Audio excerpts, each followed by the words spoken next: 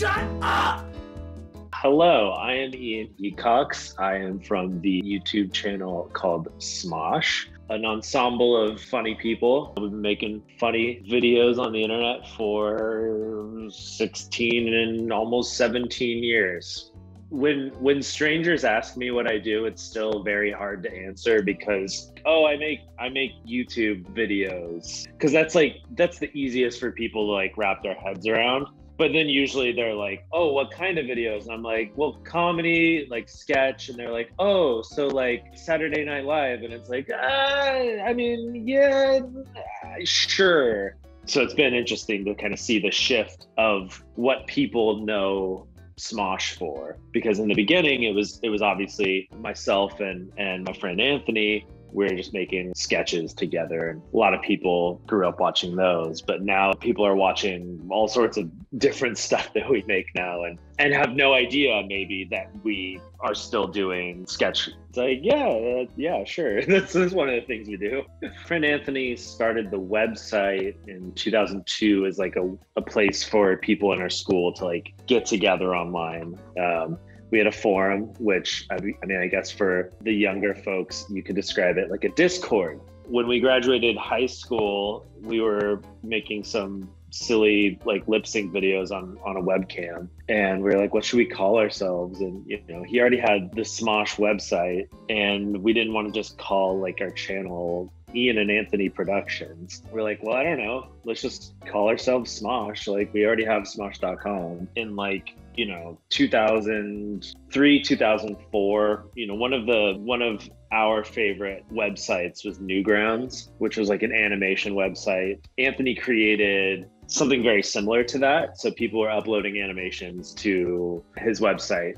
So it was getting some traction outside of our school. We also had our myspace uh, page which kind of grew a little audience in it. So when YouTube came around uh, and we started uploading there, we were kind of able to push like our MySpace audience to go watch it on YouTube and I think because of that, you know, we were able to get some views and, and kind of, you know, edge ourselves up above some of the other content that was on there. We were bored and we were just kind of messing around and, and he had this like crappy webcam that he borrowed from his dad. And that was kind of just the thing that people did back then. Like lip sync videos were were just a thing. And you know, we kind of we did the lip syncs, but we kind of also were putting a different kind of spin onto it. We had like some like sketch elements to it, you know, pointing out like with our Pokemon theme song, you know, we were showing us like, you know,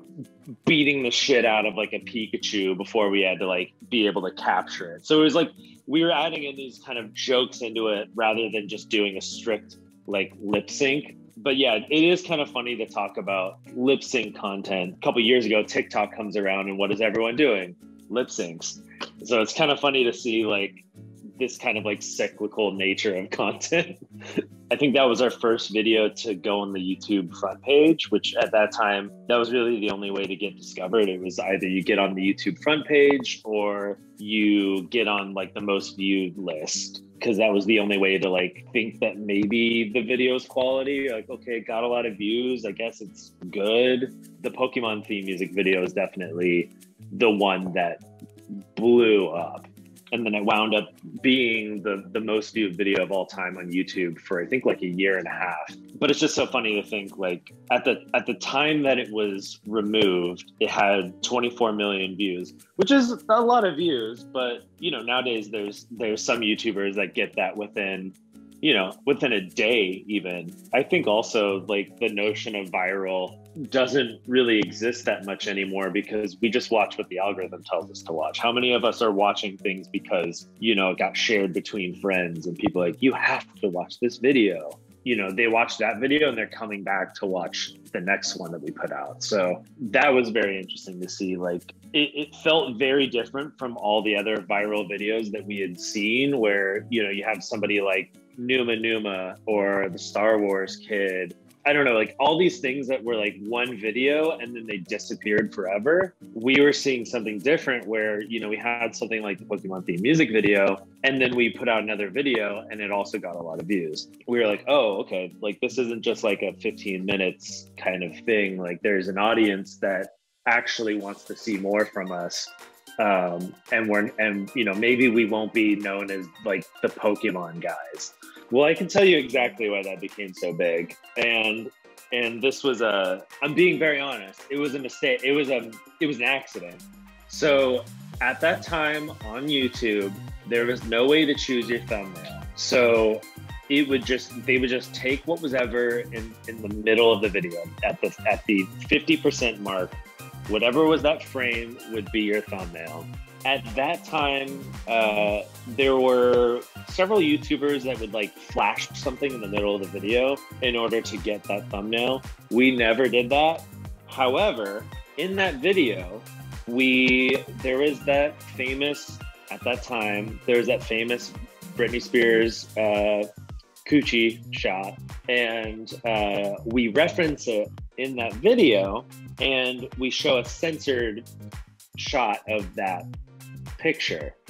This is purely by accident. That was the frame in the middle of the video. So for you know the first you know eight years that that video was was online the thumbnail was a censored shot of Britney Spears coochie. So Food Battle was a um, a competition between myself and Anthony between our favorite foods to see whose favorite food can do more everyday tasks than the other. Anthony's was a taquito, and mine was a pink frosted sprinkled donut because we thought the pink frosted sprinkled donut was silly looking, and and there was definitely like a a um, a phallic nature to the taquito and a um, a whole nature to the donut. You know, I think there was just some there's some you know naughtiness going on with with the foods that we chose. We were like, oh, like what if we made it seem more like a like a like a sporting event so we're like, let's call it Food Battle 2006. And then when like 2007 came around, people were like, when's Food Battle 2007? we're like, what? And then it just became this yearly event. And we kept trying to like do it up like more and more. Then we had like, we started incorporating like uh, audience uh, voting on like whose food uh, Anthony would, would use for the, for the next year it's been very interesting. It's also been interesting to see some fans grow up with us, or, or you know, like we had two fans in the community. You know, one of these guys was our was was like one of our big fans, like back in the MySpace days, and then he met uh, a girl that was also a fan, like through the community. They met at VidCon, uh, started dating, had a kid and I'm pretty sure they're still they're still together. I mean, the kid must be like seven years old now or something. Like it's just it's just wild to see like the way that you know creators bring communities together and and what those communities um, do. Yeah, I think I think for for me, like, you know, we had always talked about this idea of turning Smosh into an ensemble, a place that other funny people could aspire to be a part of the channel and grow within our channel and giving other funny people the opportunity to grow an audience through Smosh. You know, when when Anthony had told me that, you know, he was he was thinking about leaving, you know, I wanted to support him how however we could but I, I, was still interested in, in staying with Smosh and growing Smosh and continuing the mission that you know we had started together. I, I kept it a secret.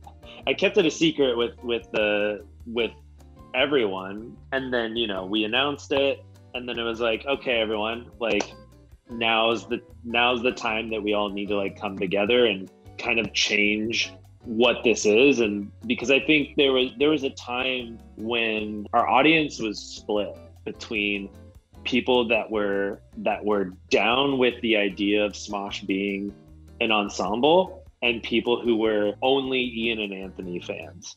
It was a it was a wild time. Luckily the audience was was very supportive and very supportive of, of Anthony's choice to go on his own. It was scary. Yeah, I mean I think it I think it worked out for for everyone. With Saturday Night Live, like you've heard, like we've all heard like horror stories about like, oh yeah, this person's a monster. Like these people hate each other. Um, but it's okay because like with Saturday Night Live, they just have to show up and then do those sketches and then they go home. Here, it's like there, there's so much more more chemistry that's involved, and you can't fake that chemistry. Like the audience is way too smart. I think that you know one one thing that I like to impress upon creators that are you know just starting or or have had a lot of success but are struggling is focus on the things that that you enjoy doing. Find other people that want to do the things that you don't want to do. So for myself i uh, hate editing. I if, if if i never have to do it again i am okay with that. Treat this thing like a job like you know kind of like a nine to five you know take take your weekends off. Uh well we we announced a partnership with uh, g4 and uh, i'm very excited to work with the talent that's over there because they have like a big group.